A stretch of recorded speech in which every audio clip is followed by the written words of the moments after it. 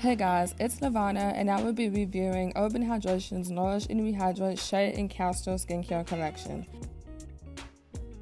So we'll start off with the face wash. The one thing I really love about the face wash is that it is amazing for removing makeup and dirt and I don't have to use a lot to get a nice lather.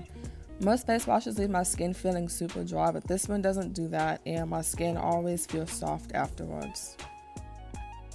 So next is the peel off face mask. I was really surprised by this product because I thought peeling it off would be super painful, but it was gentle and you only need a very thin layer for it to work. I usually don't use a peeled off face mask, so I was pretty happy with the outcome of this one since it didn't leave my skin with any redness. Now for my favorite part, the daily lotion. Moisturizing is extremely important for me because I have dry skin during the colder months, and it's important that my moisturizer lasts for a couple hours, which this one did. It's not too heavy or light, and it didn't clog my pores. Overall, I love the fact that this collection is simple without requiring too many products for great results.